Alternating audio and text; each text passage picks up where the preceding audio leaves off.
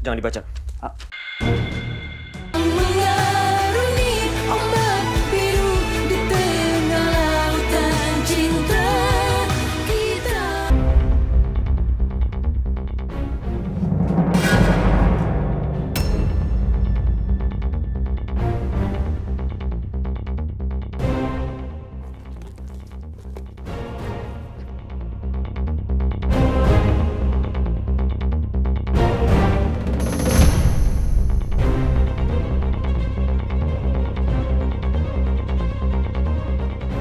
Ini hasil tes DNA siapa?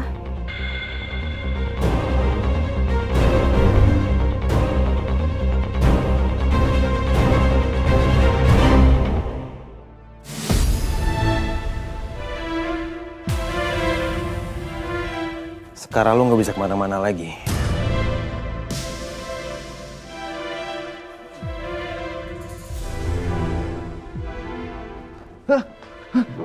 Si- siapa kamu?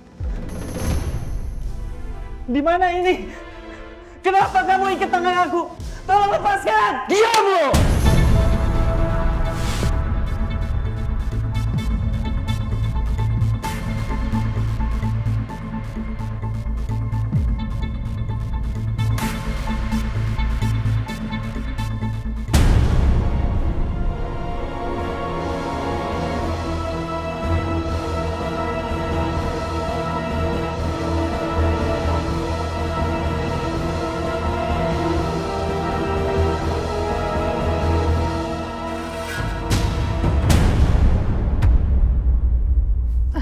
Jangan, jangan dibaca. M- maaf dok, tadi dokumen kamu nggak sengaja jatuh ini.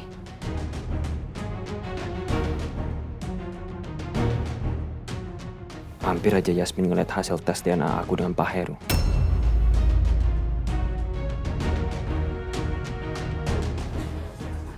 Kalau boleh tahu itu hasil tes DNA siapa?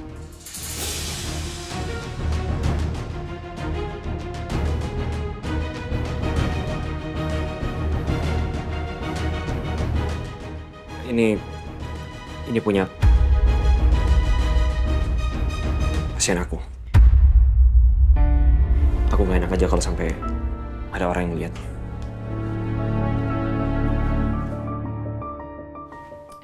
Nih dok, aku udah bikinin sus coklat buat kamu.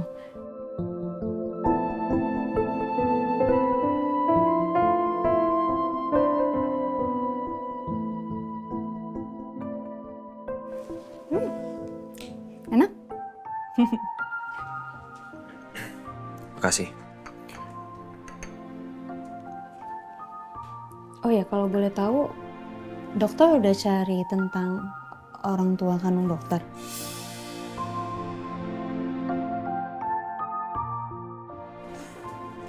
Udah. Tapi aku belum nemuin orangnya.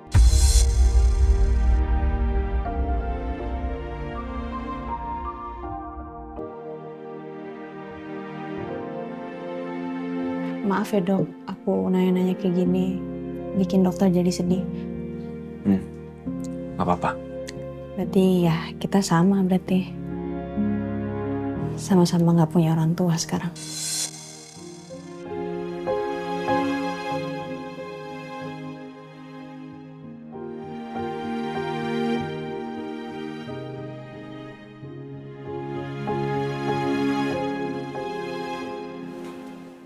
Kayaknya di depan udah reda deh.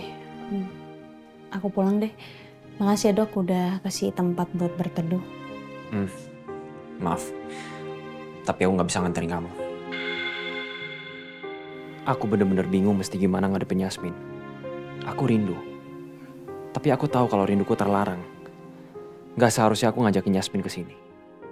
Kenapa dokter Romeo sikapnya jadi kayak gini ke aku?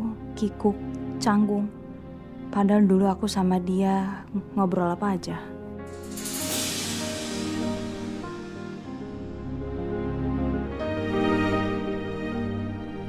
Dokter kok pakai gelang itu?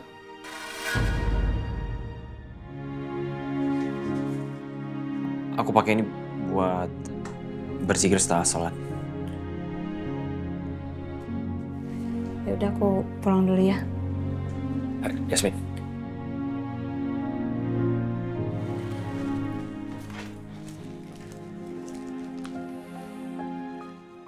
Biar aku anterin kamu pulang.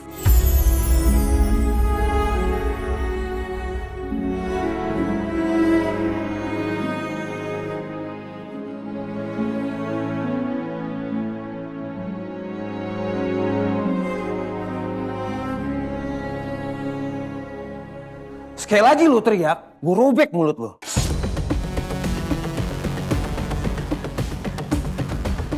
Sekarang lu jelasin. Siapa orang tua lu? Cepat! Ayah saya sudah meninggal sejak saya bayi. Ibu saya baru saja meninggal.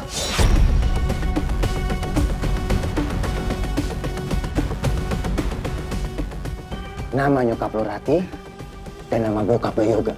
Iya. Bukan.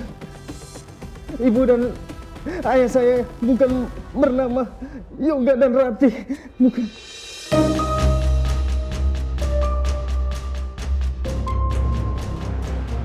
Jawab jujur! Kalau kamu nggak percaya sama saya, ini di kantong saya ada HP saya. Di situ ada data kartu keluarga saya.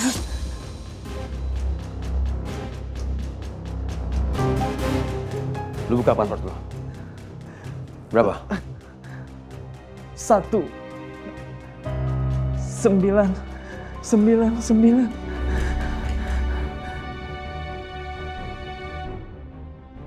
Iya, itu foto saya dan ibu saya.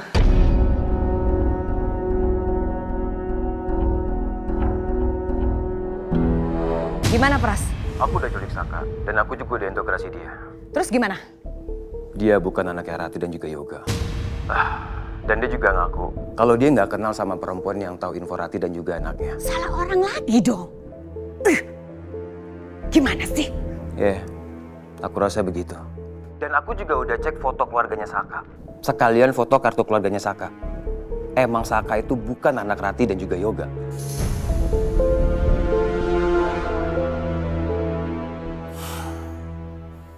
Terus, mau diapain ini orang? Kamu nelfon ngasih tahu bahwa kamu tuh gagal terus nanya sekarang harus bagaimana? Nggak usah mikir, hah? Pokoknya saya nggak mau pusing ya. Terserah kamu mau hancurin kek, kamu mau lenyapin, kamu mau bonyokin, mau buang. Itu urusan kamu. Yang penting jangan sampai orang itu tahu tentang kita. Paham? Oke,